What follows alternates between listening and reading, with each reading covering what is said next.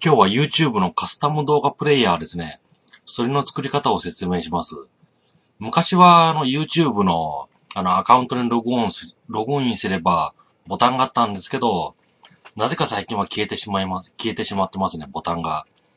ただカスタム動画プレイヤーという機能はついてますので、この URL を直接入力すれば、カスタム動画プレイヤーの作成が可能です。それを説明したいと思います。まずアドレスなんですけど、アドレスバーに youtube.com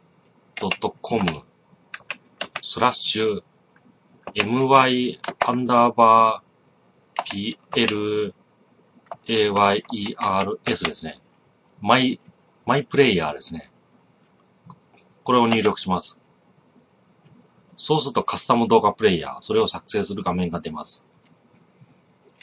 それここで、新しいカスタムプレイヤーを作成するボタンを押します。これプレイヤー名テストと入力します。それ色を選びます。それでレイアウトを普通のこういう一つの画面のシンプルなものと、こういうあの、サムネイルが右側に表示された、ちょっとワイドなものと選びますね。次に、コンテンツなんですけど、まずマイ動画。これ自分がアップロードした動画ですね。あとは再生リストで登録したコンテンツですね。これを、これを表示させることが可能です。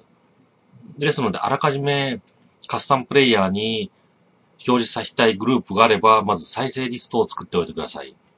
あとは自分のお気に入りですね。それを登録することも可能ですね。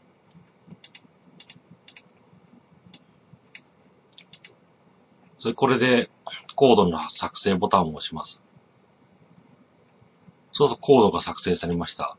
それ、これあの、オブジェクトタグで、HTML に埋め込むようになってますので、ブログとかホームページに埋め込んでください。で完了します。そうするとテストが追加されました。次にこのテストですね。もしこのテストのカスタムプレイヤーが不要になったら、こうチェックボックスをかけて、選択プレイヤー、選択したプレイヤーの削除を押します。そうすると削除されます。これあの問い合わせのダイアログとか出てこないですので、ホームページに埋め込んである場合は気をつけてこの削除機能を使ってください。一回削除すると復活させることが できないみたいですね。ですので、慎重にこの作業は行ってください。Google のあの隠されたカスタムプレイヤー、カスタム動画プレイヤーの作り方でした。